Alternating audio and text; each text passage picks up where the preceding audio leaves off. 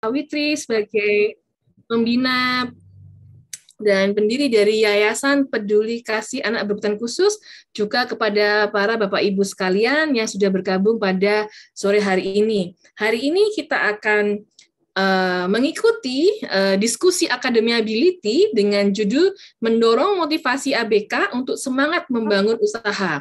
Sebelum kita memulai, kita akan salah, salah judulnya ini tentang apa parenting, lebih ke parenting. Oh, nggih nggih.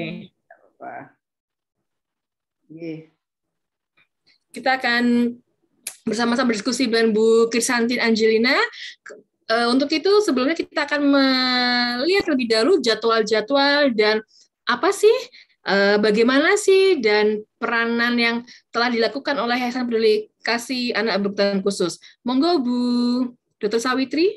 Iya, iya, Terima kasih Bu Lea dan terima kasih Bu Kris dan terima kasih ya. para peserta yang lain eh, ini adalah eh, kita bercerita dulu tentang yayasan, jadi kita bisa mengenal yayasan sehingga kita lebih saling terjadi engagement ya, terjadi eh, mungkin kerjasama lebih lanjut dan sebagainya. Jadi Yayasan Peduli Kasih ABK didirikan tahun 2012 dengan tujuan adalah mendukung partisipasi aktif ABK melalui peran orang tua dan masyarakat. Jadi sebetulnya yang kita tuju adalah lebih kepada orang tua dan masyarakat. Karena sebetulnya untuk ABK sendiri kadangnya dia tidak merasa masalah dengan dirinya. Everything is okay gitu ya Bu Lea. Jadi yeah. Iya. selama orang tua bisa menerima, membantu ABK dan masyarakat demikian juga, insya Allah eh, apa ABK ini menjadi eh, kita mengantarkan ke takdir terbaiknya ya. Jadi misinya tentu satu adalah membantu orang tua bisa menerima, memahami dan mengoptimalkan eh, potensi anak tersebut. Terus kedua, bagaimana masyarakat bisa memahami dan mendukung si anak tersebut. Jadi melalui Zoom yang dilakukan oleh YPK ABK ini adalah tujuan kedua ya. Eh, terus mendukung partisipasi aktif ABK dalam kehidupan masyarakat. Jadi yang ini biasanya kami Zoom itu juga lebih diutamakan ABK yang sudah lancar baca, yang yang verbal. Namun kali ini terima kasih Bu Lea uh, sudah sering membantu kami untuk menjadi nah apa host seperti itu. Dan yang ke Empat adalah bagaimana memberdayakan ekonomi keluarga dengan anak berkebutuhan khusus karena memang layanan kami lebih diutamakan untuk eh, menengah ke bawah. Jadi ini adalah selama eh, hampir sudah 10 tahun ini yang kita lakukan. Kita pembinaan ABK keluarga ABK juga mengadakan eh, masyarakat yang ramah ABK terus juga seminar pelatihan. Itu sebelum pandemi ya Terus yang terakhir adalah bagaimana ABK mendapat pelatihan dan pengembangan. Ini karena juga sejalan saat ini yayasan sedang mendirikan eh, lembaga pelatihan kerja yang one stop service seperti itu. Oke, lanjut. Jadi lanjut Mbak. Ini adalah eh, foto-foto kegiatan ABK. Kalau dulu kita baginya menjadi of uh, di dalam gedung dan di luar gedung. Yang di dalam gedung adalah ada kelas orang tua dan kelas anak kelas ABK, terus kalau di luar gedung ya ada penyuluhan, pelatihan, tadi juga ke eh, kader, posyandu dan sebagainya ke sekolah-sekolah dan sebagainya. Jadi eh, Zoom yang kita lakukan juga terekam di YouTube Peduli Kasih ABK maupun di eh, harian YouTube-nya channel Harian Surya maupun Tribun Jatim Official. Ini lanjut dan ini adalah karya-karya ABK. Jadi ada buku, jadi kita lihat dulu apa yang menjadi kesukaan atau menjadi kemampuan dari ABK, apa yang mereka bisa lakukan. Ini kita contohkan adalah karya dari Andre dan Isyati yang sama-sama sipi dan sudah berusia dewasa dewasa anu ya dewasa ya dewasa berkebutuhan khusus 49 dan 39 tahun dan mereka bisa hmm. baca tulis, cuman tulisannya jelek karena kekakuan otot sehingga kita pinjami laptop dan dia menuliskan apa yang dia rasakan, pengalaman dia supaya tidak monoton. Kadang-kadang eh, apa karena memori juga pendek dan sebagainya kita ajak bicara, kita eh, apa ngobrol juga dengan saudaranya, keluarganya dan teman-temannya sehingga kita kembalikan lagi ke dia sehingga dia bisa menulis lebih luas lagi. Jadi silakan teman-teman untuk mengapresiasi buku ini harganya 80.000 di luar ongkos kirim. Eh, kenapa penting baik buat ABK, keluarga ABK maupun masyarakat luas yang tidak terkait langsung dengan ABK karena sebetulnya eh, menurut hasil penelitian eh, kami banyak masyarakat yang sudah tahu tentang ABK, apa itu ABK, tapi kadang masih dihubungkan dengan, aduh maaf maaf, eh, masih dihubungkan dengan apa? Masih dihubungkan dengan kondisi ABK itu. Jadi akhirnya sekarang, tapi masyarakat itu tidak tahu bagaimana membantu ABK takut orang tua tersinggung dan sebagainya. Jadi dengan buku ini teman-teman mungkin bisa eh, bisa mengetahui dan menyiapkan generasi ABK ini apalagi biasanya setelah lulus SMA itu kebanyakan orang tua tuh bingung anak saya mau di mana kegiatan apa dan sebagainya. Seperti itu ya. Lanjut jadi bisa pesan di nomor yang ada tertera. Dan ini adalah hasil karya Apika yang lain ya. Eh, yaitu coret-coret. Jadi setiap anak itu eh, saya melihatnya bisa coret-coret dan coretannya tiap anak itu khas sehingga akhirnya kita latihkan coretnya adalah di kain. Kebetulan kita dapat kain spray banyak dari hotel dan mencoret-coret di situ orang tua supaya layak jual dan sebagainya. Eh, kita kita antarkan orang tua untuk bisa mempercantiknya dengan eh, kita tunjukkan YouTube, Pinterest dan sebagainya sehingga akhirnya jadilah ditempelkan di tote bag, di sarung bantal dan sebagainya. Jadi silakan teman-teman untuk mengapresiasinya yang ada di sini seperti itu. Oke. Uh, menghubunginya di nomor tersebut. Terus sekarang ini karena yayasan sekarang eh, sudah keluar lembaga pelatihan kerja, posisinya berada di eh, Jalan Manggis Tengah T127 Perumahan Pondok Chandra, kita sedang membangun agar terjadi LPK yang one stop service, jadi eh, ada tempat persiapan untuk bisa siap kerja, bukan kerja dalam arti bekerja di suatu pabrik atau apa gitu ya. Jadi lebih kepada kreativitas ya terus yang kedua untuk di pembekalan untuk eh, pelatihan kerjanya itu atau kreativitasnya itu maupun untuk ada tempat eh, penjagaan kesehatan jadi ada kita kerjasama dengan terapis dan sebagainya seperti dan juga untuk orang tua supaya bisa apa memperbaiki atau mempercantik karya dari ABK sehingga lama-lama bisa menjadi apa aktivitas bagi anak tersebut bagi Afrika karena waktu luangnya banyak. Jadi silakan teman-teman untuk berdonasi ada eh, bisa di ada di nomor tersebut ya.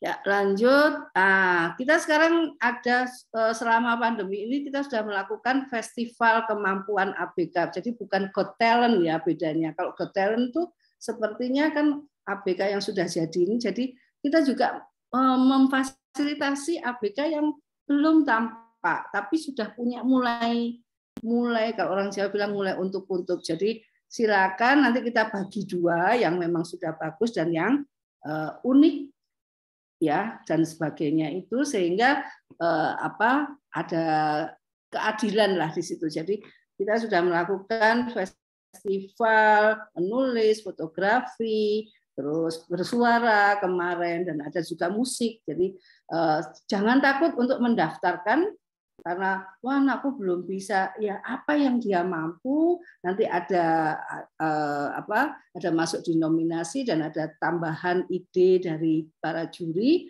jadi eh, silakan tanpa bayar tapi ada hadiahnya menarik ini ya dan terakhir monggo dilihat Eh, terakhirnya kapan memasukkan videonya ya supaya bisa lebih banyak nggak hanya di Surabaya saja seperti itu.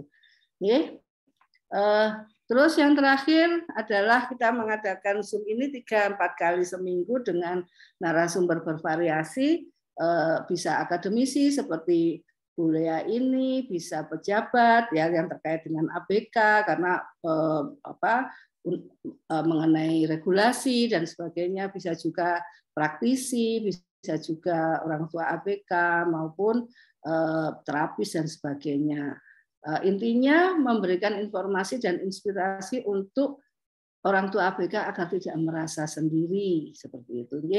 Lanjut silakan Bu Lea dan Bu Kris. Baik, terima kasih Bu Dr. Sawitri yang sudah menjabarkan tentang uh, Yayasan Peduli Kasih Anak Berkebutuhan Khusus, apa saja programnya, bahkan mungkin Bapak Ibu sekalian yang ingin berkunjung ke SLB yang sudah dibangun ini juga mungkin dapat uh, ikut berpartisipasi juga begitu. Nah, sebelum kita mulai, jadi topik kita pada hari ini adalah menggali peran orang tua sebagai guru pertama dan utama dari anak berkebutuhan khusus.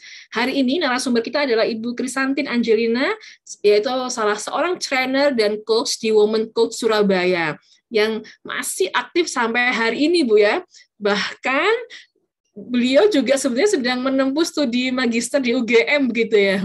Jadi banyak sekali. Nah, dan kebetulan uh, studinya ini terkait dengan psikologi dan sangat tepat dan sangat pas banget dengan uh, keseharian beliau sebagai trainer dan coach di Woman Coach. Nah, sebelum kita memulai, mungkin saya akan bacakan sedikit tentang uh, bio biografi dari Bu Krisantin Angelina. Uh, beliau adalah lulusan S1 Teknik Kimi, Teknik Fisika di TS tahun 1995 gitu ya. Nggak nyangka ya Bu ya, agak jauh begitu. Tetapi ketertarikan itu memang tidak bisa dipungkiri begitu karena uh, walaupun teknik fisika, tetapi banyak sekali mengambil pendidikan non akademik khususnya di uh, Point of View Course, kemudian NCA Course dan neo dari Neo NLP Indonesia, termasuk level berikutnya di NLP Trainer, kemudian juga memiliki sertifikasi sebagai Family and Couple Therapy Practitioner dari Intrans. Ini tentu bukan sesuatu yang mudah untuk dipelajari, gitu ya. Kalau tidak karena keinginan dan karena peminatan dan memang uh, talentnya Bu Eslin Bu Krisantin sendiri. Itu sebabnya pada hari ini uh, Bu Krisantin uh, memberikan waktunya untuk membantu kita sebagai orang tua untuk bisa menggali peran kita sebagai orang tua sebagai guru pertama dari dan utama dari ABK. Nah, untuk itu waktu kami persilakan kepada Bu Krisantin, kita akan lebih santai-santai begitu nggak Bu nggak? Yeah, Jadi yeah. bincang santai. Nah, nanti seandainya di tengah-tengah Bapak Ibu ingin bertanya, boleh menekan raise hand atau mengetikkan di kolom komentar, nanti akan saya bacakan pertanyaan-pertanyaannya. Monggo Ibu. Baik, terima kasih Ibu Lea. Apakah suara saya terdengar dengan jelas? Terdengar Ibu, bisa terdengar. Baik, eh, selamat sore uh, Bapak, Ibu, peserta diskusi uh, kelas diskusi Akademi Ability sore hari ini. Yang terhormat Dr. Sawitri dari Yayasan Peduli Kasih ABK. Ya, uh, kemudian yang saya hormati Ibu Lea yang menjadi moderator kita sore hari ini. Kakak-kakak di Yayasan Peduli Kasih ABK, Bapak dan Ibu uh, peserta sore hari ini. Apakah ada Bapak juga yang bergabung sore hari ini? Atau ibu-ibu saja yang baru bergabung? Ini yang Oppo ini nggak tahu. Kan iya. apakah laki atau perempuan? Iya, saya izin untuk share uh, screen ya sebentar.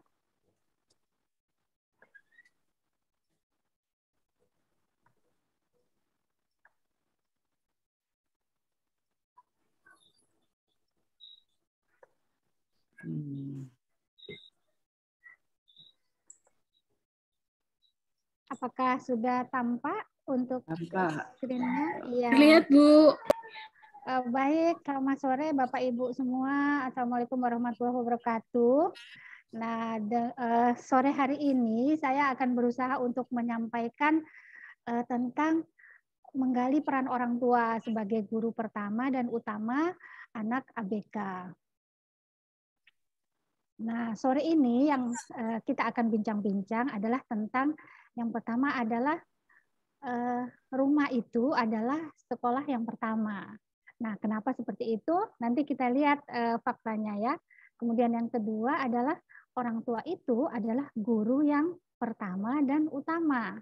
Kemudian yang ketiga akan sharing tentang teknik 3M dan yang keempat adalah perencanaan program oleh orang tua. Nah, kenapa sih kok rumah itu disebut sebagai sekolah yang pertama? Kalau kita lihat pembagian waktu anak-anak, katakanlah misalkan Bapak Ibu ini mengirim anaknya ke TK ya, eh, umur 4 tahun. Nah, berarti anak-anak itu sudah melewatkan 17.500 jam meleknya di rumah bersama Bapak dan Ibu sekalian kok bisa dapat 17.500 gimana? Ya, jadi anggap aja kalau anak kecil tuh tidurnya sampai 12 jam sehari, tidur siang dan tidur malam, 4 tahun kita kalikan 365 hari, dan 12 jam tersisa yang melek bersama kita. Nah, anak-anak tuh melewatkan 17.500 jam melek bersama kita di rumah. Pertanyaannya, itu melek sekian ribu itu kita sudah isi apa aja atau kita sudah benarkah kita sudah memanfaatkan tahun-tahun awal ini sebaik-baiknya. Nah, buat anak-anak yang sudah lebih besar ya, yang misalkan sekolahnya itu full day, katakanlah Sabtu dan Minggu itu libur ya. Jadi kalau da dalam satu tahun ada 52 minggu, nah 100 hari lebih itu adalah hari libur gitu. Kemudian kalau di sekolahnya 8 jam, nah sisa waktunya kan berarti ada di rumah. Kalau kita hitung-hitung, ternyata 2 per 3 waktu anak itu ada di rumah. Dan kalau kita potong hari libur, apakah libur sekolah, apakah libur lebaran, libur natalan, libur tanggal merah, itu ada lima bulan. Jadi ada 150 hari kira-kira hari libur sekolah itu dan berarti itu adalah lima bulan anak-anak tuh bersama kita di rumah. Jadi rumah memang benar-benar tempat yang terpenting buat anak-anak karena dua per tiga waktunya ada di rumah. Dan juga di rumah anak-anak itu kan lebih santai. Eh, bisa belajarnya mungkin yang nggak harus duduk di meja, boleh lesehan, atau dia boleh duduk di tempat mana pun yang dia suka. Jadi rumah ini menjadi tempat yang menyenangkan untuk anak-anak belajar. Karena itu kita sebut sekolah ini adalah eh, rumah ini adalah sekolah yang pertama. Nah, kalau sekolah itu menjadi eh, kalau rumah itu menjadi sekolah pertama, bapaknya menjadi kepala sekolah, ibunya menjadi guru. Nah, harus gimana sih guru yang uh, bisa membawa anak-anak itu ke masa depan yang lebih bagus gitu ya. Nah, tentunya kita berharap bahwa guru yang di rumah ini yang pertama kali dikenal anak-anak ini adalah yang proaktif. Kemudian juga yakin akan kemampuan anak. Karena sebetulnya setiap anak itu kan dilahirkan dengan jumlah sel otak yang sama gitu ya. Dan kita harus yakin bahwa kita akan memanfaatkan sel-sel otak itu sebaik-baiknya. Yang sel otaknya ada cedera pun, kita bisa memanfaatkan 4 tahun sampai 6 tahun pertama dalam kehidupan anak untuk menyambung sel-sel saraf yang belum tersambung itu. Dan yang terakhir adalah harus semangat. Dan semangat ini uh, mesti dibarengi ada sabarnya, ada konsistennya, ada telatennya, seperti itu. Nah, kemudian eh, mungkin kan ada bilang, Mbak Kris, aku nggak bisa deh proaktif. Modalku apa buat proaktif? Atau mungkin atau juga gimana mau semangat, Mbak? Aku nih begitu difonis, kalau anakku ABK, aduh aku langsung deh patah semangat. Nah, ternyata ada teknik buat membuat uh, orang tua itu tetap proaktif, tetap yakin, tetap semangat, yaitu dengan pertama itu kita memang harus ada proses mengakui. Jadi ketika menerima vonis dari dokter atau dari psikolog bahwa anak kita ABK, Maka yang pertama adalah proses mengakui ini harus dilalui terlebih dahulu. Uh, biasanya ketika menerima vonis, uh, mungkin kan kadang dokter itu kan bertanya tentang history atau sejarah keluarga. Ah, boleh tahu mungkin di keluarganya apakah ada juga yang mengalami peristiwa seperti ini atau mengalami eh, gejala-gejala seperti ini. Nah, itu adalah proses yang susah sekali kalau kita mau tanya ke keluarga ya, karena bisa aja uh, ibu yang kita tanya atau mertua yang kita tanya itu kan merasa tersinggung ya. Jadi enggak enggak enggak ada uh, di keluarga kita yang seperti ini gitu kan. Jadi akan sulit sekali buat kita untuk menggali gitu ya. Nah, kemudian antara pasangan gitu. Antara pasangan pun mungkin beberapa bulan pertama ada itu yang tidak menghabiskan waktunya buat mencari profesional untuk uh, untuk pergi terapi atau untuk mencari pertolongan, bagaimana anaknya supaya uh, bisa treatmentnya lebih bagus. Tapi banyak juga yang menghabiskan beberapa bulan pertama itu untuk uh, berselisih paham gitu. Jadi wah ini gara-gara kamu. Nanti yang satunya, wah ini juga ini nggak ada kok keluargaku yang seperti ini. Nah, jadi proses mengakui itu memang butuh waktu gitu ya. Kemudian antara ayah dan ibu juga memang juga butuh waktu untuk sampai akhirnya dua-duanya itu bisa sampai pada suatu keadaan oke okay, saya mengakui bahwa vonis ini terjadi pada anak. Kemudian habis setelah mereka mengakui mereka pergi lagi ke proses berikutnya yang uh, proses penerimaan dan ini juga waktunya tidak cepat tergantung dari eh, masing-masing ayah dan ibu.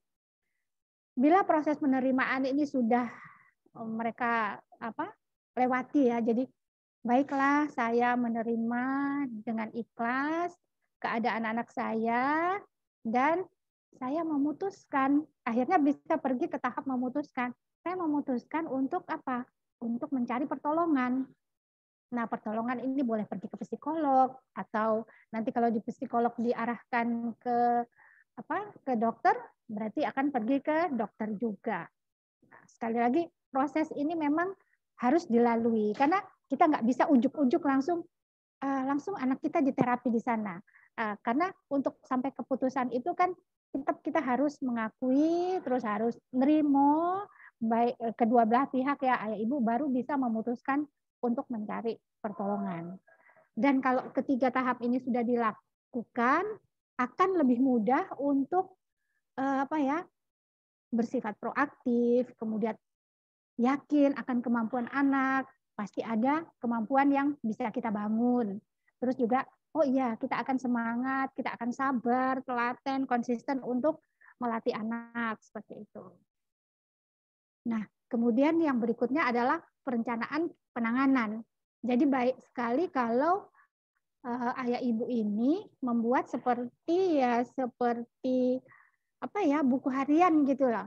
Untuk misalkan hari ini seperti apa, kemudian bagus juga misalnya proses penerimaan butuh waktu berapa lama, itu jadi dituliskan itu baik sekali karena catatan itu akan berguna nanti kalau misalnya ada adiknya lagi ya atau mungkin nanti ada sepupunya yang punya gejala-gejala sama. Nah, itu catatan harian itu bisa dilihat lagi. Kira-kira dulu saya proses penerimaan berapa lama, kemudian kita mencari pertolongannya kepada siapa saja, kemudian waktu itu kita penanganannya gimana ya sampai adik itu bisa berhasil seperti gini. Nah, ini antara lain ya, antara lain yang dilakukan orang tua ketika mereka itu menjadi apa sudah eh, dirinya itu menjadi guru yang pertama dan juga utama pada anak. Jadi ada namanya yang pemantauan. Jadi misalkan eh, difonisnya itu ketika misalnya kan anaknya umur enam bulan nih, lagi ada hujan deras, petirnya tuh kenceng banget tapi waktu adik digendong di dekat jendela, ngelihat hujan yang deras itu kok cuek aja, nggak ada reaksi. Nah itu sudah harus ada apa ya? Kayak ada ibu itu punya perasaan gitu. Petirnya sekeras ini adik nggak reaksi apa-apa. Nah itu ada pemantauan dini. Jadi kayak ada curiga, kenapa ya nggak noleh, nggak apa, padahal petir petirnya uh, suaranya menggelegar. Nah, itu ada pemantauan dini. Jadi bisa pergi ke dokter anak untuk memantau. Atau kalau mau ditarik lebih awal lagi, pada saat bayi lahir, kemudian sudah dibawa ke rumah, kita bisa mengecek ya kelima panca inderanya gitu. Misalkan nanti kalau matanya misalnya setelah usia dua bulan atau tiga bulan, kita kasih objek di depannya, kita geser objeknya ke kanan, matanya ikut ngelirik ke kanan enggak? Atau geser ke kiri, matanya ikut e, ngelirik e, objek yang digeser enggak? Seperti itu. Terus misalkan e, ingin memantau pendengarannya gimana ya? Nah, pada waktu di rumah pun ketika anak masih bayi kita bisa. Jadi misalkan di dekat kupingnya kita pok gitu ya pakai misalnya pakai uh, apa ya kayak kayu bentuknya kotak atau kalau saya diajar guru saya tuh pakai batu bata di plok gitu kan. Nanti anaknya tuh pasti oh, kayak kaget gitu. Misalkan nggak kaget oh kenapa ya? Berarti mungkin harus ada yang dicek lebih lanjut. Kemudian ketika orang tua itu jadi guru pertama dan utama orang tua itu itu mau adaptasi pola asuh. Jadi kalau memang apa untuk pengasuhan ABK ini yang pertama adalah eh, orang tua harus beres dulu urusan emosinya. Jadi ketika emosi sudah stabil baru bisa eh, mengasuh anaknya yang ABK. Eh, karena bagaimanapun emosi katakanlah yang sering di rumah ibu nih. Nah, emosi ibu ibu itu mengendalikan emosi uh, seluruh keluarganya gitu ya. Jadi uh, kita harus adaptasi pola asuh. Kemudian ada anak-anak ABK yang memang pola makannya khusus ya, nggak boleh makan yang kasar-kasar seperti itu. Terus ada makanan-makanan yang harus dihindari dan kemudian pola didiknya uh, bila orang tua tuh masih ragu bisa proaktif kan diskusi sama guru misalnya di sekolah diajarin gini, saya harus gimana ya Bu Guru di rumah supaya anak apa anak saya, saya bisa latih juga di rumah. Terus ada juga meningkatkan kedekatan emosi. Karena kalau kita deket gitu ya, misalkan anak bisa secara verbal baik, eh, kan mereka bisa eh, keluhan-keluhannya tuh disampaikan ke kita gitu ya. Mereka percaya pada bahwa kita itu adalah tempat berceritanya. Kemudian walaupun anak ini adalah ABK, orang tua harus tetap tegas tentang benar dan salah. Jadi kalau memang jadi tidak dimanjakan berlebih, misalkan melakukan kesalahan tapi dibiarkan saja, tapi kita tetap menjelaskan ini yang benar salah, tetap harus tahu anak-anak. Kemudian orang tua tetap berpikiran positif ya, jadi alirannya aliran positif, yakin bahwa ini adalah memang apa ya sesuatu yang sudah disiapkan oleh Allah buat kita gitu. Dan kalau sudah apa ya pikirannya lagi down gitu ya, lagi banyak seudon, lagi banyak negatif, orang tua bisa bikin eh, apa daftar bersyukur gitu ya. Oh ya saya bersyukur punya anak karena ada juga keluarga lain yang sampai saat ini masih kesulitan punya anak. Oh saya bersyukur setelah uh, ngurus anak saya sekian tahun ini ternyata saya jadi ibu yang lebih tangguh gitu. Oh sekarang saya jadi punya ilmu lebih. Saya bisa uh, berbagi ilmu juga buat ibu-ibu lainnya di shelter misalnya seperti itu. Nah, kemudian kan kita pengen anak kita nanti mandiri gitu ya. Jadi mesti bersama-sama nih untuk eksplorasi diri uh, anak itu kira-kira manu passion atau minatnya di mana. Kemudian orang tua juga memberikan pancingan-pancingan, kira-kira ini seneng nggak, itu seneng nggak gitu. Cuma memang harus eh, benar-benar nanti yang dilakukan itu adalah kemauannya anak gitu ya. Jadi bukan kemauan ayah atau ibunya. Nah, kemudian yang terakhir juga eh, ada juga anak yang harus diberi terapi. Nah, ini termasuk ke apa ya peran-peran orang tua juga untuk mencari berbagai informasi tentang terapi, menanyakan, kemudian apakah ada sebagian yang bisa dilakukan di rumah, antara lain seperti itu. Nah, mungkin uh, dari saya sedikit aja untuk pemancing di awal. Nah, saya uh, izin untuk stop share dan saya persilakan kalau uh, Bapak Ibu mau bertanya. Waktu saya kembalikan ke Ibu Lea, silakan Ibu Lea. Baik, terima kasih banyak Bu Krisantin Angelina. Ibu mungkin bisa kembali ke yang slide pertama itu Bu, yang empat hal penting itu ya. Mungkin Bapak Ibu ada yang mau bertanya mungkin terkait peran penting orang tua yang ada empat slide tadi, yang ada empat kotak begitu ya. Apakah yang ini Bu Lea? Uh, oh, sebentar, saya belum. Iya, iya. Iya, sebentar, sebentar.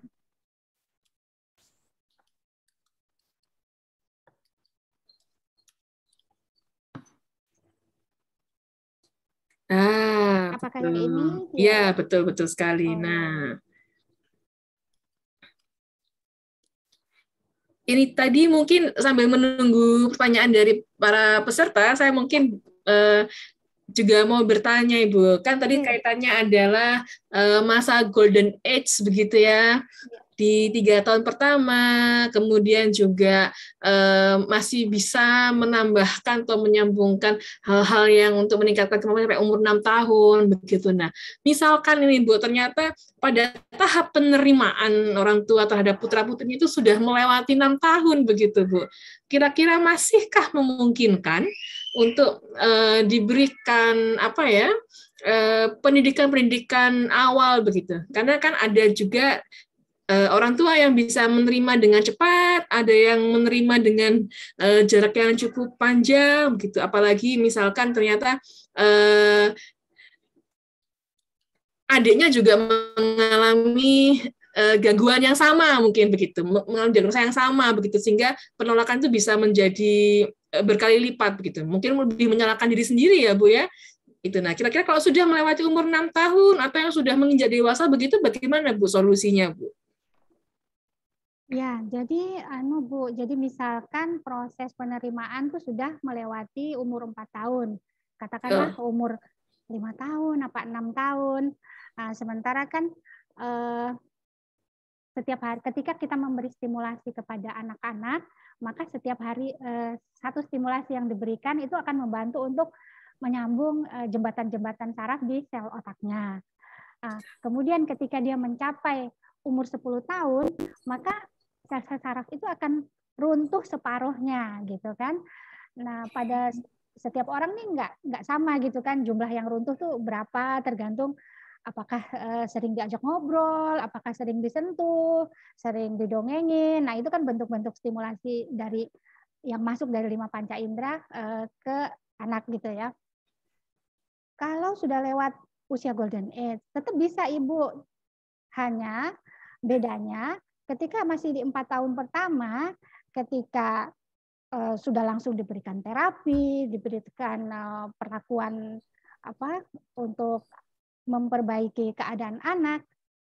Kalau di empat tahun pertama itu kan otak anak sifatnya seperti spon, jadi akan menyerap semua tanpa usaha gitu. Jadi memang hmm, ketika ibu hmm. mengajarkan atau melatih di rumah dari apa yang diberikan oleh psikolog atau dokter, ibu ulang di rumah, Eh, maka itu ibu akan melihat kemajuannya lebih pesat dibandingkan ketika umur di atasnya. Apakah bisa ya? Ya tetap bisa, akan tersambung apa kita melakukan stimulasi-stimulasi yang diharapkan akan menyambung jembatan-jembatan sel sarafnya, akan tetapi orang tua harus berusaha dua kali lipat eh, lebih apa ya lebih kenceng gitu.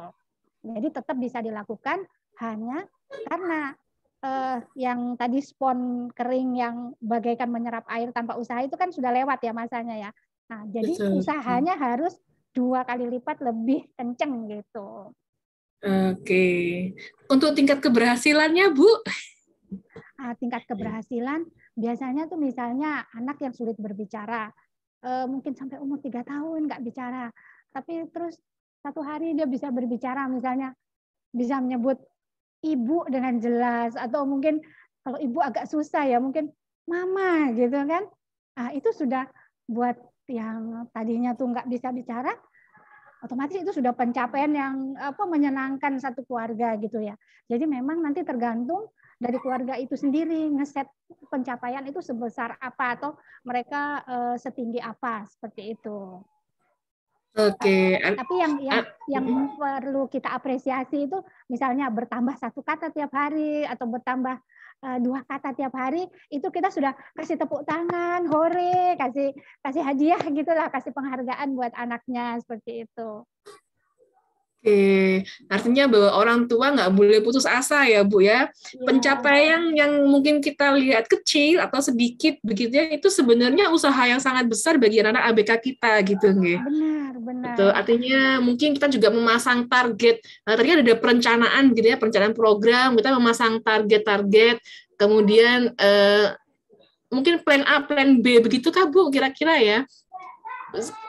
Iya, jadi kan mungkin kalau waktu pertama kita merencanakan, kita akan apa ya uh, idealis gitu ya, kita akan idealis. Nanti sepanjang perjalanan mungkin kita juga mangkel gitu. Aduh, ibu lo udah nyiapin program nih sampai uh, lembur-lembur gitu ya. Kamu kok tak kasih flashcard aja kok males banget sih. Nah, itu berarti kita mesti beresin. Kita nggak boleh ngajar. Kalau perasaan kita kita seperti itu kita nggak boleh ngajar. Jadi kita mesti uh. ya berdiam dulu ke sudut tarik nafas tenangkan diri gitu ya. Atau mungkin kita keluar sebentar refreshing. Nah nanti ketika ibunya sudah stabil terus anaknya juga lagi nggak malas-malasan lagi happy happy nah itu baru tuh bisa nanti dikasih perlakuan lagi seperti itu. Jadi kondisinya ibu lagi happy anak lagi happy Nah, itu berarti kan masuknya lebih gampang gitu kan. Jadi memang ibu-ibu uh, yang lebih sering dealing sama anak-anak itu ibu ya.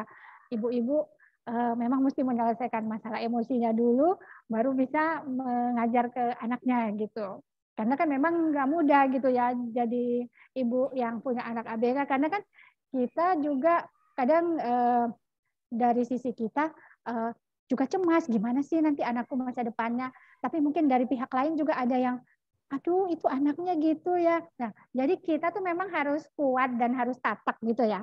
Makanya kalau ada kayak shelter seperti uh, di Yayasan Peduli Kasih ABK, ketika orang tua datang dan berkumpul, ketemu teman-teman yang juga punya anak uh, eh, ABK, mereka itu kan akan merasa gini, oh nggak apa kok tiba eh oh yang ibu itu anaknya malah misalnya seperti ini tapi bisa kok ngatasinya.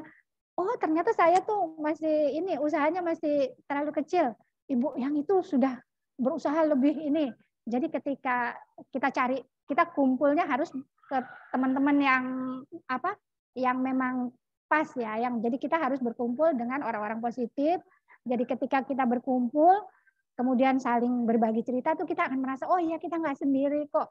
Oh iya ini caranya gini caranya gitu. Jadi semangat itu timbul. Terus nanti kan kita juga belajar oh iya gini loh supaya ibunya nggak emosi gini loh. Jadi eh, berkumpul lah. Kalau sampai ngedrop kita mungkin perlu berkumpul ke komunitas. Atau mungkin kita belajar eh, cara-cara sederhana buat ngendaliin emosi. Tarik nafas buang nafas tarik nafas buang nafas. Atau mungkin ya kita dengerin satu lagu instrumental yang kalem gitu ya. Misalnya lagunya siapa? Atau kita mau denger lagunya Tulus. Dek Ibu kayaknya capek nih uh, istirahat sebentar ya. Ibu mau di kamar dulu mau denger lagu Tulus. Satu lagu aja. Nah mungkin habis denger satu lagu terus dah keluar lagi udah segar siap menghadapi anak. Gitu Bu. Kira-kira seperti itu Bu saya dulu juga punya pengalaman mengantarkan sepupu begitu ya di sekolah ABK begitu. Bayangan kami di rumah itu aduh sepupu kami itu sudah benar-benar yang levelnya tinggi gitu. Begitu bertemu dengan uh, karena memang juga sekolah ABK begitu bertemu dengan orang tua lainnya mereka tuh menyatakan loh kalau ponakanmu semua itu bagus mbak. Nggak ada masalah. Coba lihat anak saya gitu artinya memang uh, kadang kita perlu berkumpul dengan uh, orang tua yang memiliki kondisi yang sama tapi positif begitu bu ya. Hmm. kalau nggak positif ditinggal aja bu ya. Jadi apa ya jangan takut buat maksudnya keluar dari orang-orang yang toksik gitu ya jadi betul, meskipun betul. itu keluarga, meskipun itu teman dekat, tapi kalau memang toksik, nah kita cari teman-teman yang positif, yang bisa menaikkan apa semangat kita seperti itu. Jadi memilih betul. teman itu uh, sangat perlu gitu. Dan betul, perlunya betul. itu bukan buat diri kita sendiri ya, tapi nanti kan akhirnya mengalir buat anak-anak kita juga. Gitu. Iya. Nah, ini ada satu pertanyaan dari Bu Sawitri, Bu. Oh, iya. Bagaimana peran orang tua bila anak atau anak ABK sudah dewasa? Dewasa ini mungkin kalau di yayasan ini kan ada yang sudah usianya eh, 20, bahkan ada yang sudah uh, usia 40 tahun. Seperti itu. Tapi masih perlu banyak dibantu gitu. Bagaimana peran orang tua? Artinya kalau misalkan uh, kalau ABK ini sudah dewasa berutang khusus ini sudah berusia sekitar 20 tahun bisa jadi orang tuanya sudah cukup lanjut usia mungkin udah 40 60 tahun mungkin ya. Artinya kan uh, secara kemampuan sudah berkurang kemudian secara kesehatan juga mungkin sudah berkurang begitu. Karena uh, yang ketiga juga menyambung yang awal adalah yang paling ditakutkan sebagai orang tua yang punya ABK adalah bagaimana masa depan anak ABK kalau orang tua yang menjadi support sistemnya dia uh, dipanggil lebih dulu begitu. Hmm. Yang saya mungkin itu menjadi hal yang paling ditakutkan banyak orang tua. Monggo Bu Kris. Uh, baik Bu. Jadi untuk ABK yang sudah dewasa, nah uh, kemudian gimana supaya uh, nanti kalau satu waktu orang tuanya nggak ada, gimana perannya ini digantikan siapa? Nah ada sebuah pepatah ya dari Afrika.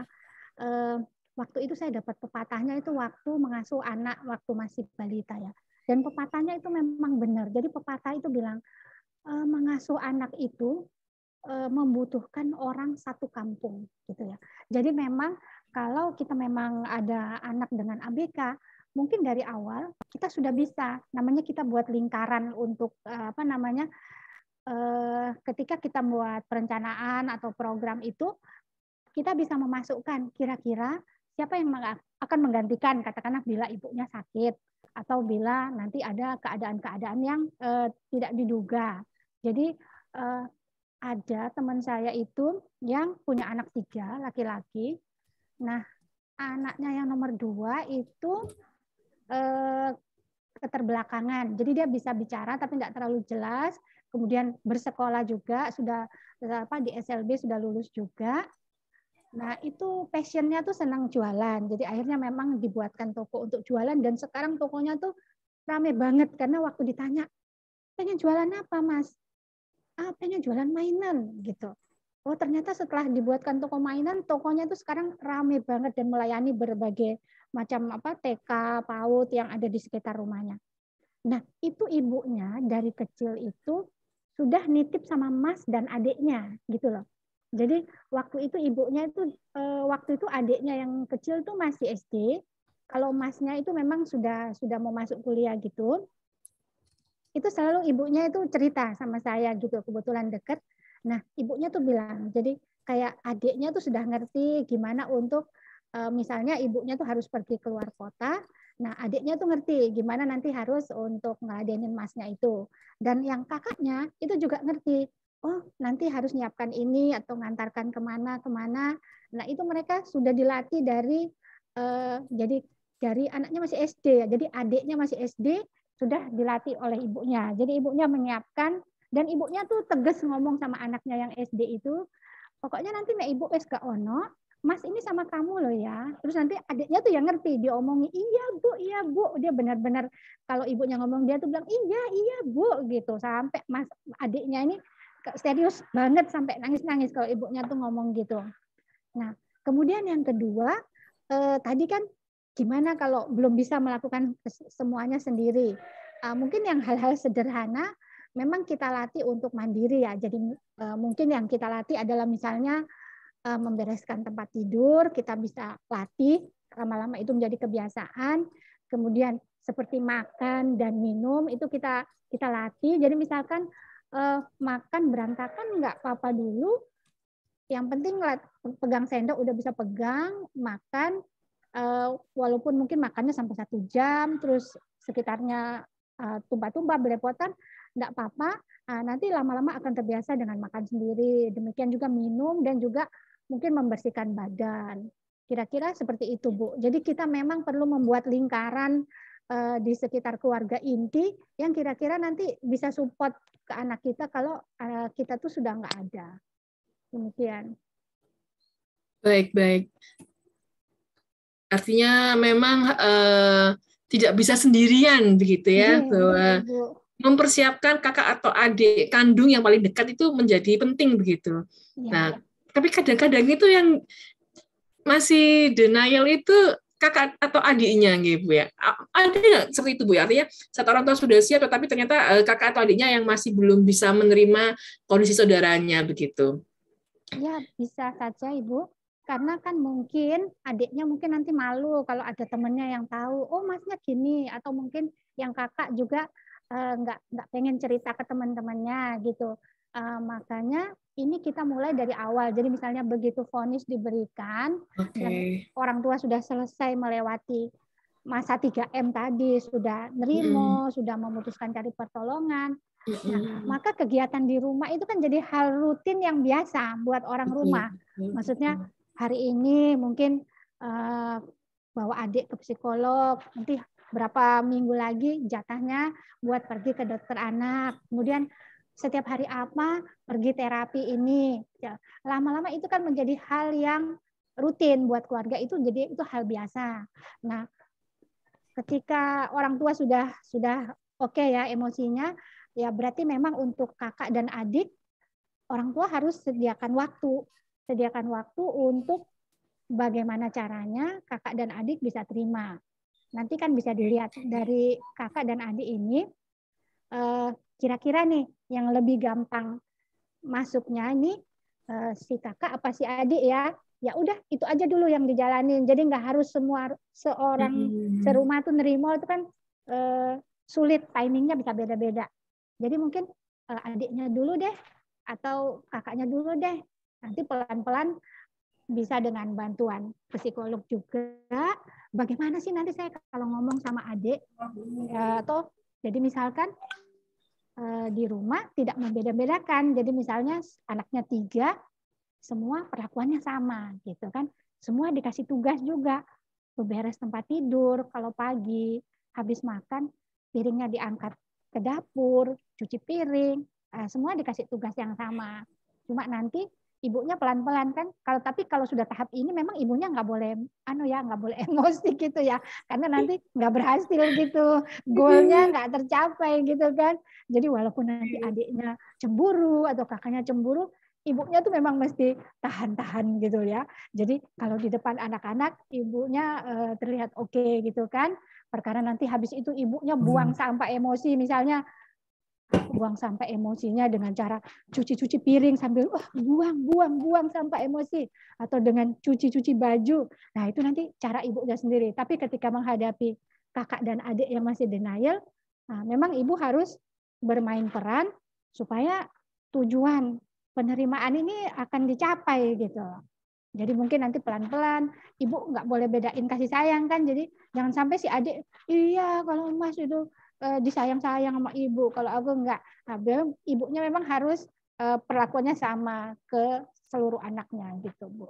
Dan ini kan nanti kita kalau ibu misalnya pergi ke shelter, terus ada dampingan dari psikolog atau dari konselor keluarga, kan kita bisa bikin role play gitu loh. Bu, nanti di rumah ibu gini sama anaknya. Terus kita role play kan, ada yang jadi anak yang nggak mau nerima, ada yang jadi kakak yang nggak mau nerima. Ibu nanti cara ngomongnya gimana? Eh, ibu mau pakai kata-kata apa. Terus nanti ibu latihan seperti itu.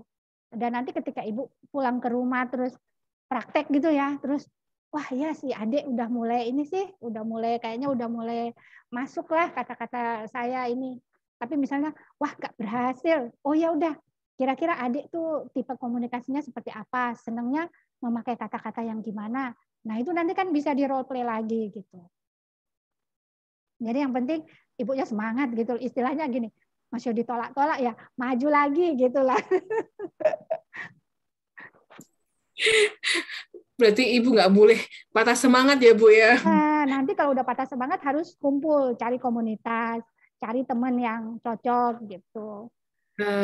Oke ini kan ada lanjutan sekali lagi bu. Jadi eh, yang bisa tahu bahwa seorang ibu saat dia me, me, menyelesaikan dirinya sendiri begitu ya itu hanya ibu itu sendiri ya bu ya artinya Iya, jadi yang tahu adalah diri kita sendiri ya. Okay. Jadi mungkin kalau kita mau tarik lebih awal dulu ya lebih bagus lagi memang kalau sebelum menikah eh, pasangan calon istri dan calon suami itu memang pergi ke apa ya kayak konselor keluarga atau psikolog untuk saling membersihkan diri gitu loh mungkin masih punya trauma zaman Oh. kecil terus mungkin pernah ada trauma-trauma lain nah itu harus dibersihkan dulu jadi ketika punya anak dan uh, mengasuh anak itu sudah bersih dari dari cerita-cerita masa lalu semua gitu jadi udah posisinya siap untuk mengasuh gitu Baik, baik.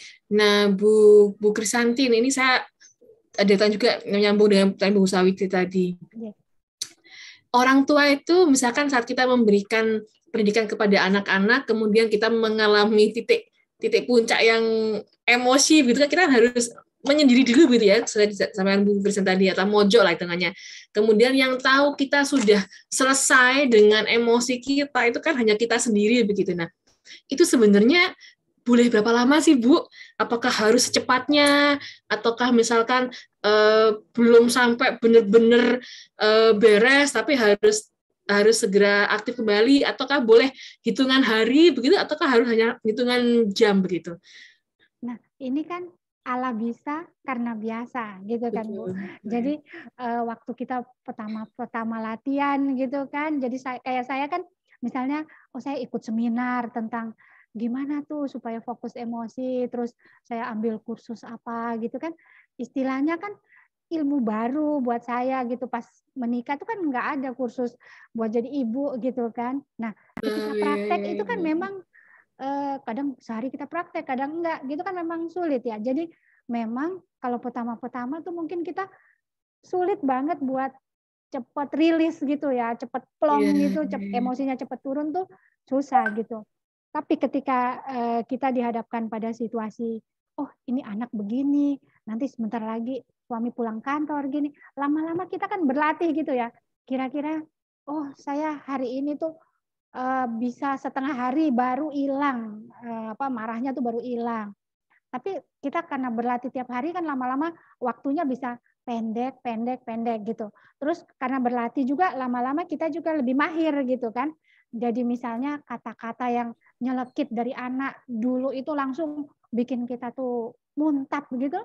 Tapi setelah kita berlatih akhirnya eh, dan sudah punya ilmunya gitu ya. Jadi ngerti gitu kan. Oh, semua kalimat itu pada dasarnya adalah netral. Nah, kemudian itu bisa bikin marah atau bisa bikin ketawa atau biasa-biasa aja tergantung saya nanggapinya gitu loh. Eh, misalkan saya nanggapinya dengan emosi, oh berarti kan eh, suara saya naik nih, anak-anak jadi takut dengar suara saya. Lo ibu suaranya kok intonasinya naik, waduh, berarti oh ini saya harus anu dulu nih, harus stop dulu nih gitu kan.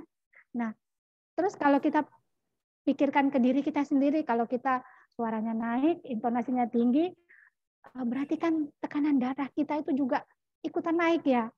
Kemudian kalau tekanan darah naik, berarti kan jantung kita tuh bekerjanya lebih payah ya, lebih ngos-ngosan ya. Nah, nanti kan akhirnya jadi kita sadar diri, oh ya saya nggak mau gitu, karena saya nggak mau nanti jantung saya harus bekerja lebih ini. Oh ya saya udah umur segini nih, saya nggak berani kalau jantung saya gimana-gimana. Nah, lama-lama itu kan eh, terkumpul semua jadi satu, plus latihan-latihan itu akhirnya kita juga sadar diri gini walaupun di panas-panasin anak tapi kita bisa tetap cool gitu tapi itu hasil dari mungkin sudah latihan berapa bulan atau latihan berapa tahun seperti itu.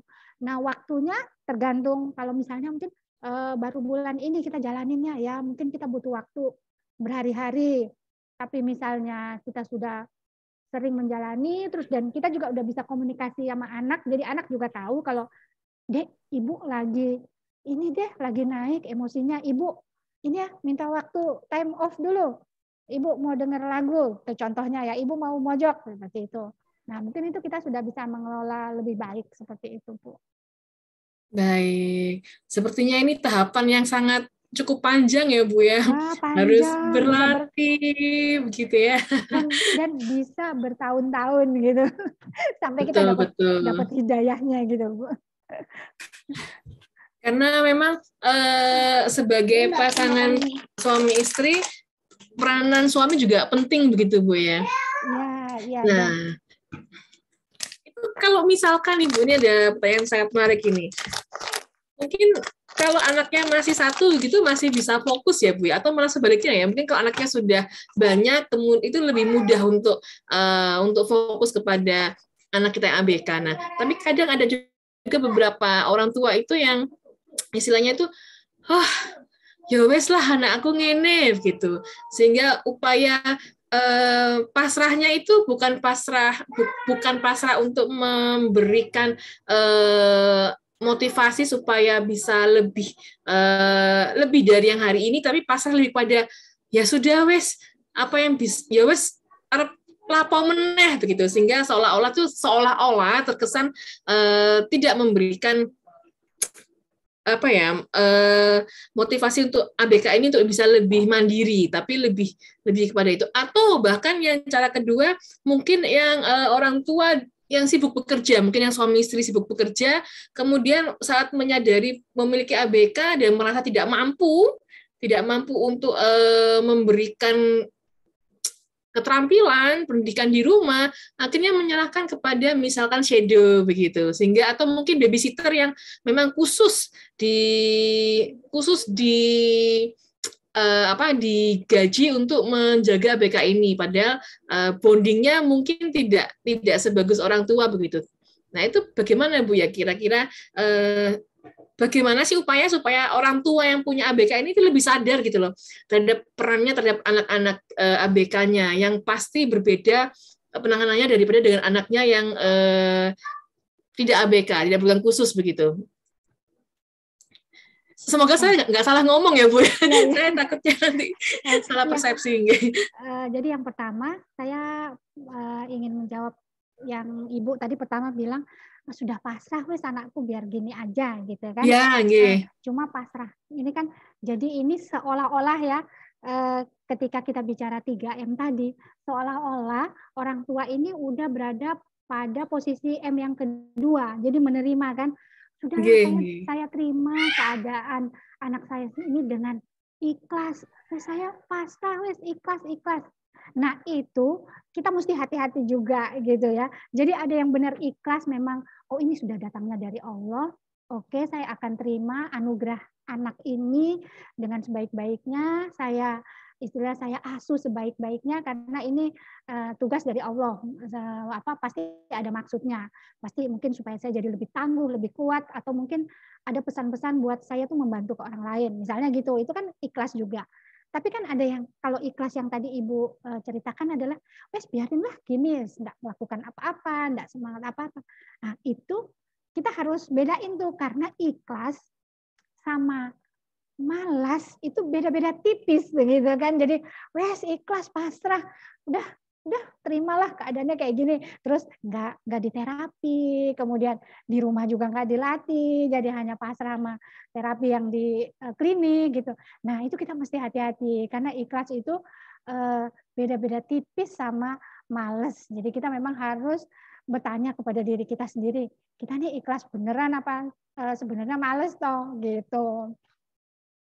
Kemudian uh, kalau yang kedua tadi uh, suami istri di luar rumah untuk bekerja, kemudian di rumah dirawat oleh eh, apa asisten gitu ya Bu ya.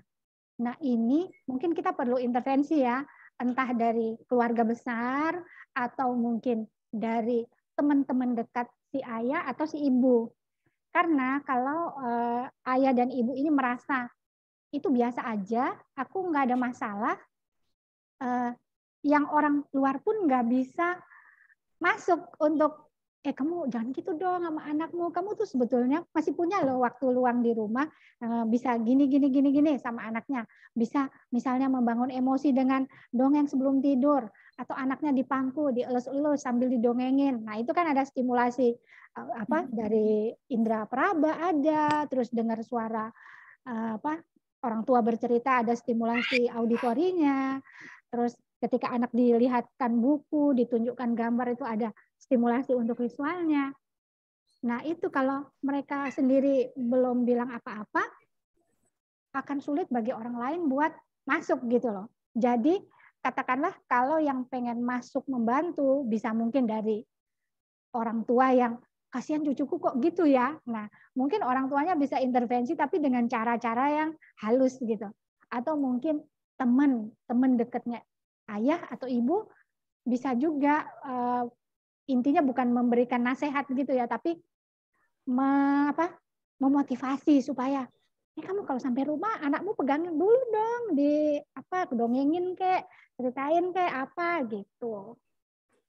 Jadi memang anak itu kan belum bisa ya memilih apa yang terbaik buat dirinya. Jadi memang uh, perlu bantuan orang tua yang uh, memilihkan gitu loh di rumah tuh apa aja sih aktivitasnya gitu. Nah ketika belum belum sadar uh, memang ya agak sulit juga ya Ke kemungkinan tokoh otoritas yang ada di keluarga itulah yang bisa uh, membantu mereka buat uh, apa ya lebih care gitu sama anaknya. Sementara itu Bu. Mungkin baik baik. Ini mungkin otoritasnya perlu... tuh mungkin bisa apa ya? Kalau mungkin bisa pemuka agama yang mereka misalnya mereka ikut pengajiannya pemuka agama ini. Nah mungkin bisa masuk dari situ atau mungkin tokoh otoritasnya itu adalah dokter anak yang sering mereka kunjungi. Nah, mungkin bisa dari situ. Atau tokoh otoritasnya tuh, wah si bapak itu kalau sama ibunya nurut apa kata eyangnya apa nurut. Nah, mungkin bisa masuk dari situ seperti itu, Bu tergantung apa ya kita mencoba dari segala sisi kira-kira ini masuknya lewat jalan mana gitu loh. Oke oke artinya eh, lingkaran kedua gitu ya mungkin kakek nenek atau mereka yang sendiri itu bisa menjadi salah satu pe, penyemangat begitu ya. ya. Nah ini juga kaitannya dengan uh, pertanyaan Bu Sati kembali, bagaimana sih Bu caranya untuk uh, memotivasi orang tua yang memiliki ABK gitu bahwa anaknya itu punya kemampuan gitu. Kalau di slide yang sebelumnya itu kan ada pernyataan bahwa harus yakin bahwa anak itu memiliki kemampuan gitu. Sehingga eh, nah ini harus proaktif dan yakin dan semangat begitu. Nah, kadang-kadang eh, kita memberikan banyak sekali eh, beberapa workshop-workshop gitu, kadang waktu melihat, wah ini nggak mungkin anakku bisa gitu, tapi setelah dilakukan bisa ternyata. Nah, pernyataan di awal ini yang kadang membuat uh, orang dan ABK itu enggan untuk melakukan beberapa kegiatan gitu. Artinya memang harus mencoba dulu gitu, tapi setelah dicoba gitu ternyata mudah gitu. Nah, persepsi itu bagaimana bu caranya supaya orang tua itu harus yakin bahwa anaknya bisa gitu? Iya, jadi uh, misalkan untuk orang tua yang mau gitu ya, sudah mau datang ke workshop, Eh, bisa juga orang tua itu diberi tugas untuk gini misalkan anaknya eh, apa kekurangan untuk pendengaran yang kemungkinan bisa diberi tugas eh, buatkan eh, tokoh-tokoh yang mengalami gangguan pendengaran misalnya tokoh dunia yang mengalami gangguan pendengaran tapi mereka itu bisa apa eh, berguna buat orang lain Nah, nanti kan banyak tokoh-tokohnya misalnya oh Beethoven, katanya Beethoven itu juga tidak bisa mendengar, tapi ternyata karya-karyanya bisa dipakai sampai saat ini. Terus siapa lagi? Oh Helen Keller. Oh Helen Keller itu juga uh, dia nggak bisa mendengar juga. Oh, tapi ternyata uh, karena dilatih, terus orang tuanya juga komitmen, konsisten, ternyata Helen Keller itu bisa membantu orang-orang lain gitu. Jadi selain dia tunanetra, ternyata dia juga nggak bisa dengar gitu.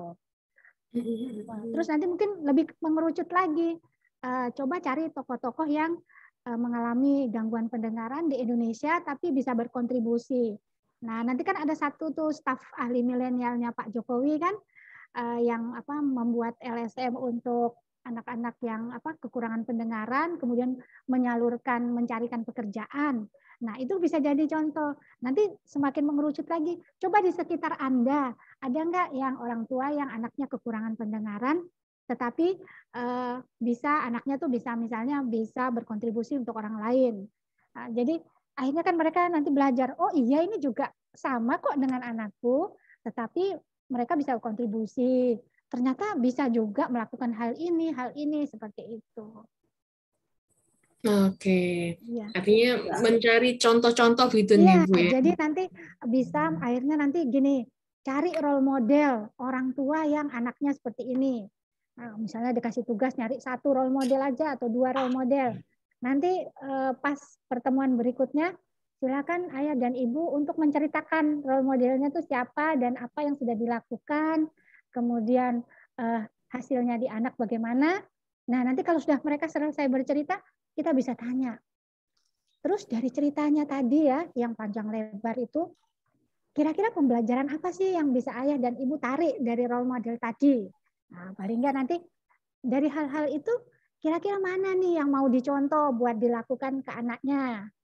Terus mungkin kita juga bisa sedikit ngepus, kira-kira nih eh, dari daftar tindakan yang pengen dilakukan, mana yang mau dilakukan dalam waktu satu kali 24 jam ke depan. Berarti kan besok sudah harus lakukan. Terus eh, yang kira-kira agak berat gitu ya, satu minggu ke depan mana yang mau dilakukan.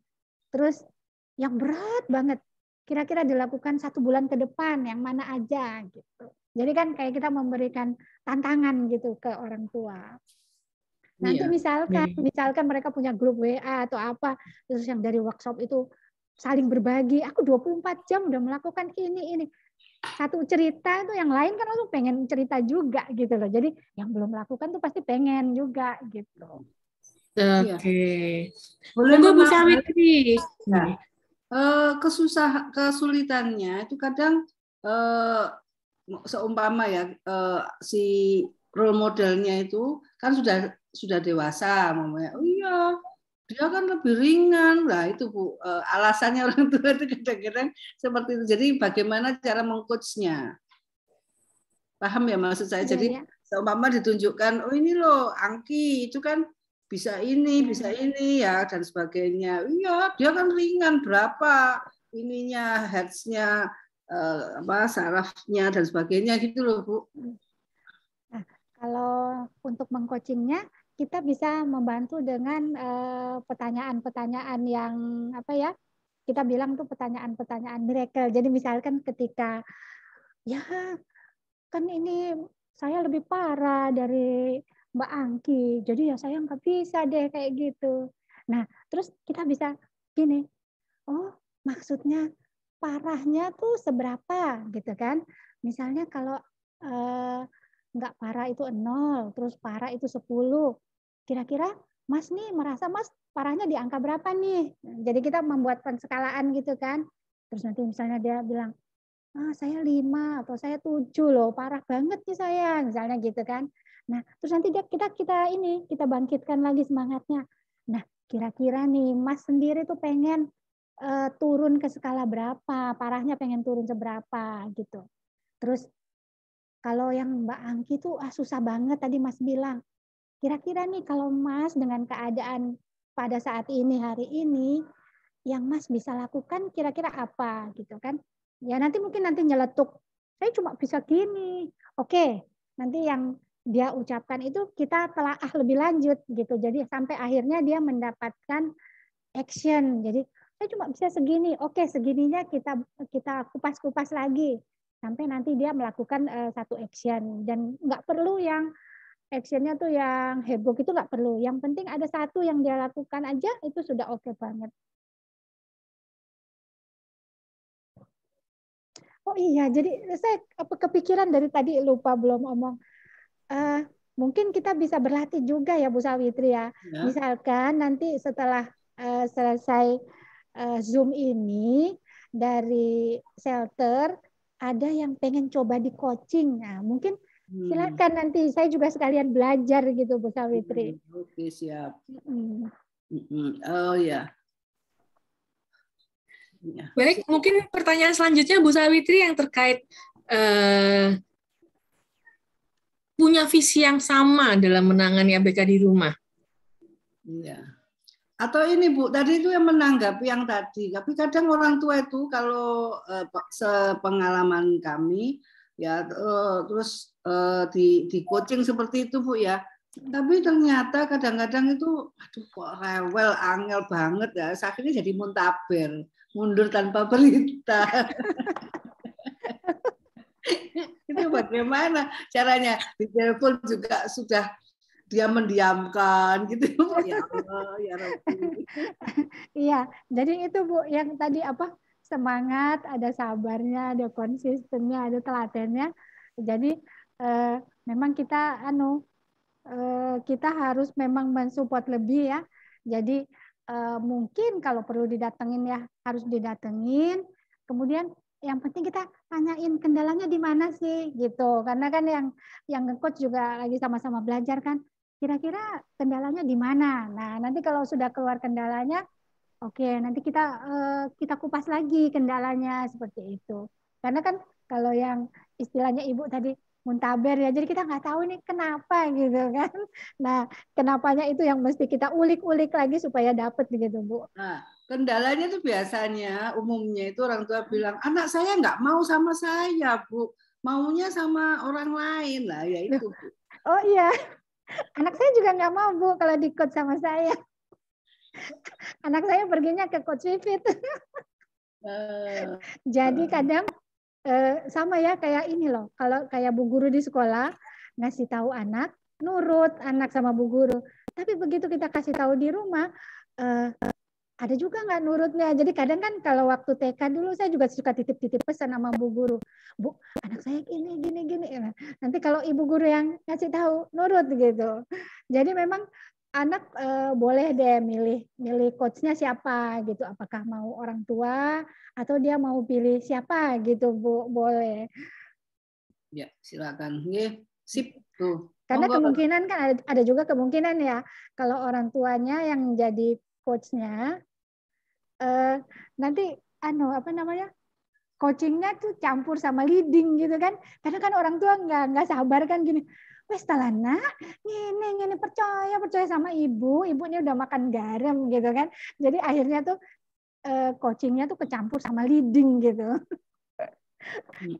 ya mungkin kita bisa coba gitu ya di rolling gitu. Yang jadi coach bukan ibunya sendiri kira-kira gimana uh, sampai tahap berapa gitu bu? Hmm, ya ya ya betul. Ya lanjut boleh ya Baik, sepertinya ini nanti perlu ini Bu ya, pelatihan lanjutan lagi begitu Bu ya. Artinya ada materi lagi lanjutan tentang how to role play begitu. Bisa singkat silang begitu. Ini menarik sekali, bisa jadi penasaran. Artinya kan tadi kalau e, memang ada kecenderungan bahwa anak kita tuh tidak lebih mendengarkan orang lain gitu ya daripada orang tuanya sendiri gitu ya. Karena ada rasa sungkan, tidak bertemu setiap hari seperti. Nah, Kemudian bagi Bu Sawitri begitu kalau sudah kasusnya muntaber begitu ya, itu tuh boleh nggak si Bu uh, seperti Bu Sawitri atau teman-teman uh, teman-teman lainnya yang, yang berkecimpung di dunia coach itu uh, mengikhlaskan gitu ya. Bahasanya saya ngomong apa ya? Mengikhlaskan. Oh ya sudah. Atau tetap harus harus di apa tarik ulur gitu. Saya artinya oh ya sudah mungkin perlu rilis dulu. Nanti kita kita dekati lagi, tarik lagi, diulur lagi. Nah, tapi kan kita takutnya bahwa saat kita memberikan semacam uh, target-target pencapaian gitu kan, karena kita mungkin uh, tidak tidak menyepelekan kemampuan orang tua, tapi kadang orang tua itu juga uh, kadang memasrahkan target pencapaian kepada yayasan begitu ya. Targetnya apa apa. Nah, itu artinya kalau misalnya kita tarik ulur, artinya kan ada target-target yang Eh, terlewati atau harusnya dia naik kemudian waktu menghilang akhirnya mundur lagi akhirnya harus mulai lagi dari awal kalau seperti itu bagaimana ya Bu ya Sewu?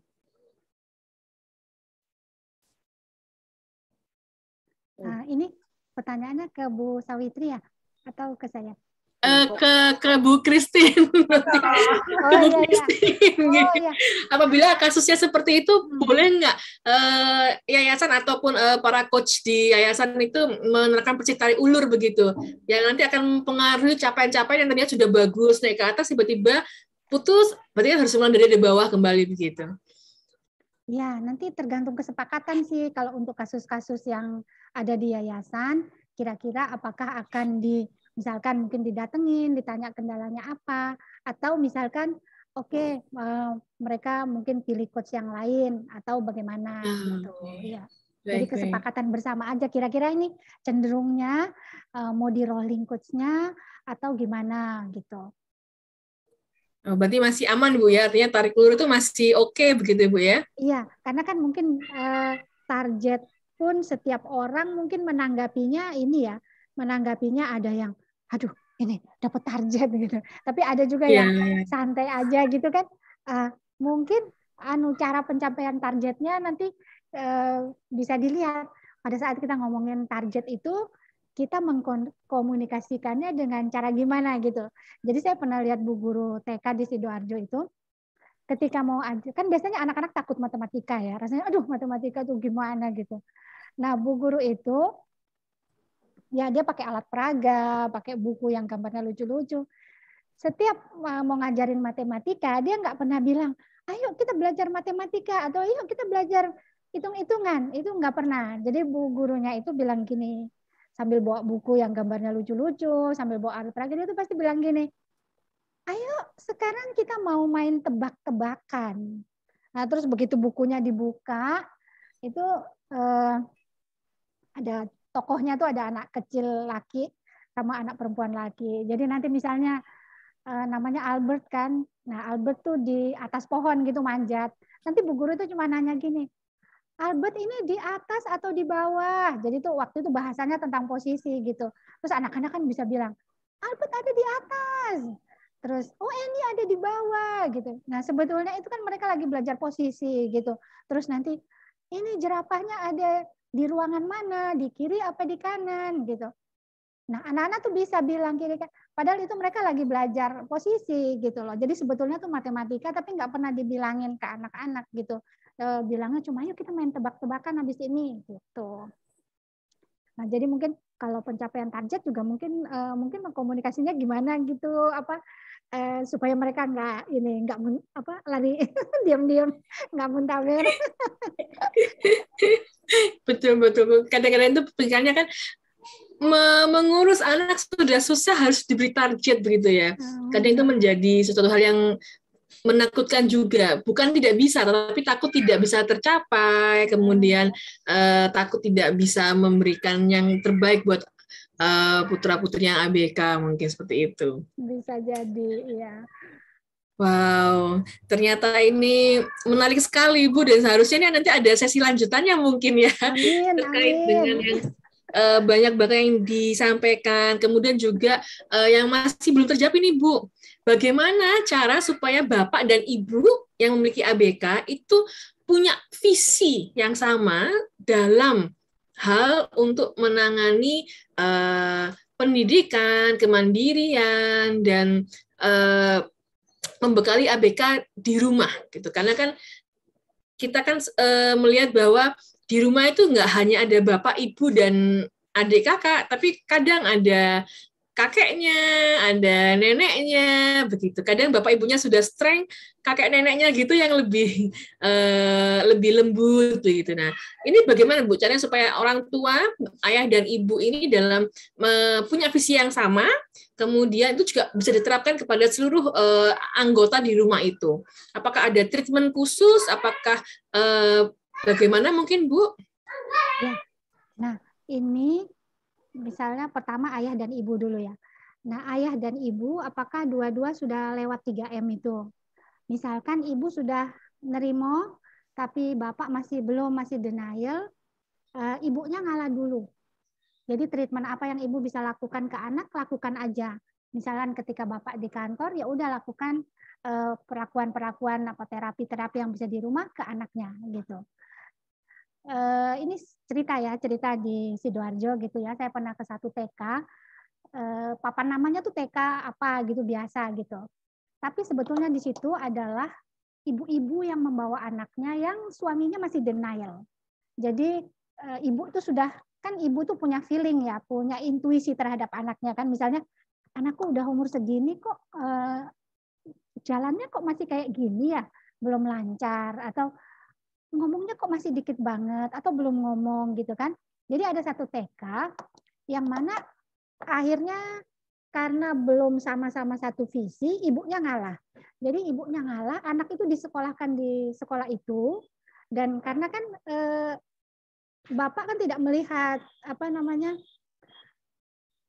pengajaran yang ada di sekolah itu. Jadi memang namanya TK biasa, tetapi untuk anak-anak yang kebutuhan khusus nanti sama Bu Guru diambil satu jam dibawa ke ruang lain, nah, kemudian diberikan terapi oleh Bu Guru.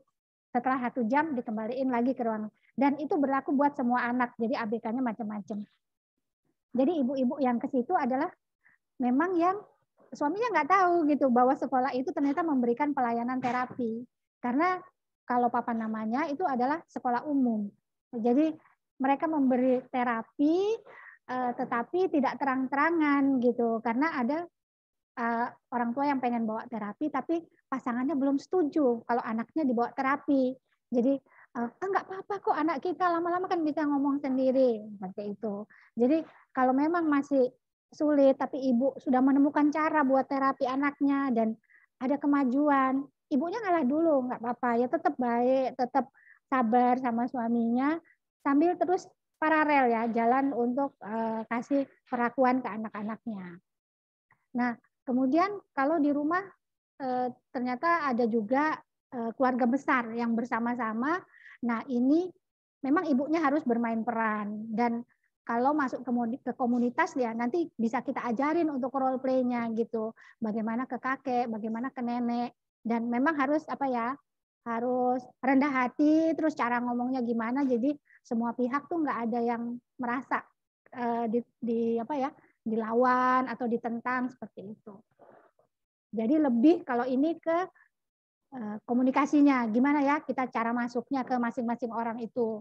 Misalkan ayahnya itu kan nanti kita ajarin juga ibunya tuh bahasa cinta tuh ada lima macam kan. Nanti ayahnya tuh bahasa cintanya apa? E, ibu harus tahu gitu kan. Misalnya bahasa cintanya ayah tuh apakah diladenin? Apakah ibu memberikan kata-kata apa dukungan. Nah nanti pas ibu komunikasi tentang anak ke ayah harus dengan ya bahasa cinta eh, apa ayahnya itu. Jadi misalnya ayahnya tuh senengnya Eh, kata-kata apa ya kata-kata pujian. Ya ibu ya harus ngomong dulu eh, apa menghargai pekerjaannya ayah menyemangati pekerjaan ayah. Terus nanti kalau sudah itu baru masuk ke cerita anaknya hari ini. Gini gini apa mau dibawa ke ini ya? Ke psikolog ya? Atau ke mana ya? Jadi pelan-pelan. Terus nanti pas mau komunikasi kan eh, ibu-ibu lihat juga kira-kira nih bapaknya tuh kalau diajak ngomong uh, paling masuk tuh pas apa gitu ya? Pas apa? Uh, misalnya pulang kantor mungkin lagi lelah di kantor mungkin lagi dimarahin bosnya mungkin kalau pas pulang kantor terus diajak ngomong mungkin kurang pas gitu ya. Terus atau pas mau tidur gitu ya. Jadi pas mau tidur udah santai-santai berbaring ya ibunya ajak-ajak ngobrol lah. Ajak ngobrol baru nanti masuk cerita anaknya. Atau mungkin bapaknya itu kalau diajak ngomong lebih lebih nerima apa lebih nyambung kalau pagi hari. Pas baru bangun malam terus habis itu diajak ngomong kok nyambung nyaut nyaut apa gitu. Jadi bereaksi gitu bapaknya. Nah nanti pilih itu cara ngomongnya gimana sama waktunya kira-kira kapan yang tepat ngomong buat bapak gitu.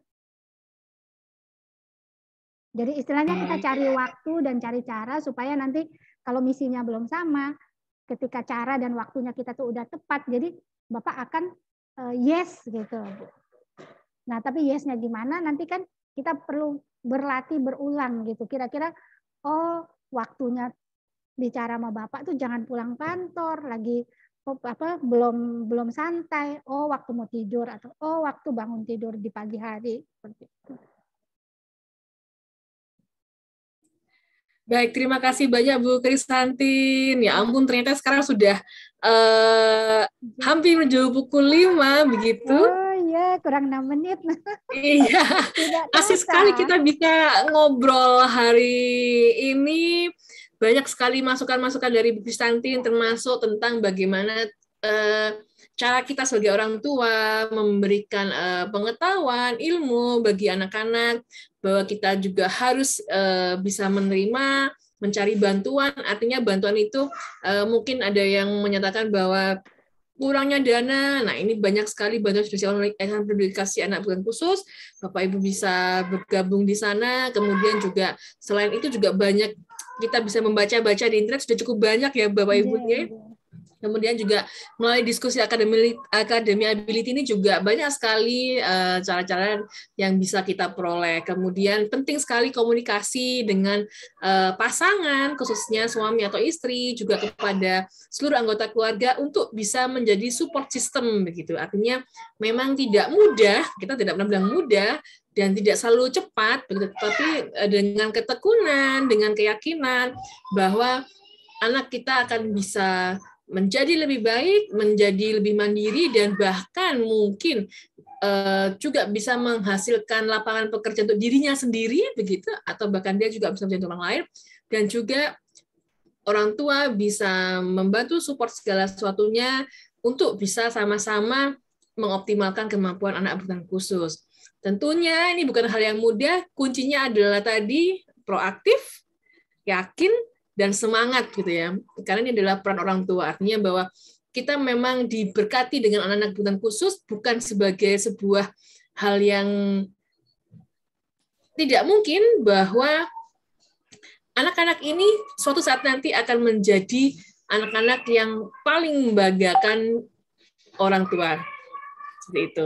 Artinya hari ini kita belajar banget tentang bagaimana peran orang tua sebagai guru pertama bagi anak berkebutuhan khusus. Mari kita mengambil tanggung jawab ini bersama. Tentunya apabila mengalami kendala bisa bertanya kepada yang sudah ahli begitu ya mungkin bisa juga ke Bu Krisantin secara langsung atau bisa juga kepada Bu Dr. Sawitri dan tim dari PABK. Untuk itu kami juga menyampaikan beberapa tema-tema Akademi Ability yang akan membantu melanjutkan tentang materi dari Bu Krisanti Angelina ini, yaitu pada besok Kamis tentang meningkatkan empati untuk mempererat hubungan orang tua dan ABK. Ini benar-benar lanjutan begitu Bu ya, artinya setelah orang tua menjadi guru pertama di rumah, akhirnya gimana sih cara meningkatkan empati untuk merekatkan hubungan orang tua dan ABK. Jangan lupa pada hari Kamis tanggal 27 Juli pukul 15.30 sampai 16.45, kemudian pada hari Sabtu Sabtunya tanggal 23 Juli ini adalah Hari Anak Nasional juga adalah inspirasi disleksia dalam membangun usaha. Arti oleh uh, Amalia Prabowo SSTR MM sebagai direktur utama Getty Inkubator. Kalau yang tiga empati untuk empat orang tua HBK adalah Vivit Sambas, adalah hipnoterapis anak. Klinik Life Coach. Baik, Bapak Ibu sekalian, terima kasih banyak khususnya untuk Bu Krisantin Angelina yang sudah Sama. memberikan sharing-sharingnya. Kemudian apabila uh, Bapak Ibu akan meminta materi, jangan lupa untuk mengisi form absensi karena nanti uh, di situ akan diberikan materi bagi yang mengisi form absensi. Kemudian jangan lupa juga bahwa masih banyak sesi-sesi akademability yang sudah disiapkan oleh Yayasan Peduli Anak Khusus yang sangat menarik dan sangat bisa mensupport kita sebagai orang tua untuk bisa meningkatkan kemampuan anak kita. Sekali lagi juga terima kasih kepada uh, Harian Surya, Tribun News, dan Telkom yang turut selalu mensupport kegiatan diskusi akademiality yang diselenggarakan oleh Yayasan Aplikasi Anak Bukan Khusus. Untuk itu Bu Dr. Sawitri mungkin ada kata penutup, monggo Ibu. Tidak ada Bu, uh, sudah bagus. sudah waktunya, belum sholat. Baik, siap. Terima kasih banyak. Sampai bertemu kembali. Semangat selalu Bapak Ibu sekalian. Yang terbaik buat ABK. Sampai ketemu kembali. Izin untuk mengakhiri uh, sesi akan hari ini. Sama-sama Bu Sawitri, Bu Krisantin. Terima kasih banyak masukannya. Terima kasih